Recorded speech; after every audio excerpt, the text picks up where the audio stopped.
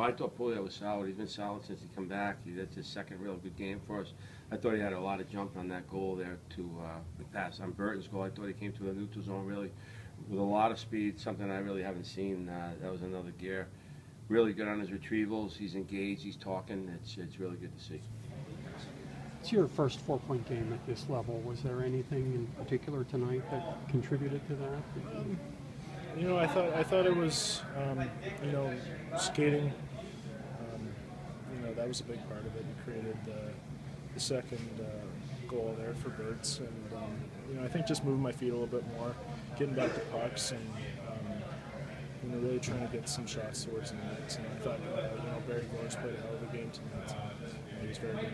How does this set you up for tomorrow night against Providence, right behind Yeah, you? another, you know, Providence, a real good team, uh, right behind us. Uh, McIntyre, I'm assuming is going to be in the nets, and uh, I think he's what 16 and one or whatever he is. So, hey, we got our hands full. It's a real good team. They're very well coached, and uh, we lost a tough one down there late in the third, but uh, they're all close games. So I anticipate uh, a real good game there tomorrow.